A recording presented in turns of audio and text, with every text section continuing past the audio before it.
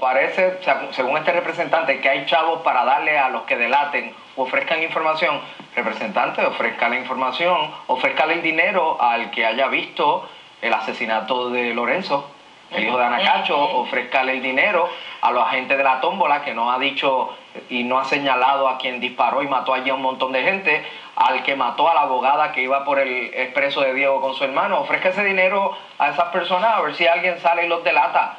Eh, vamos a hacer una pausa.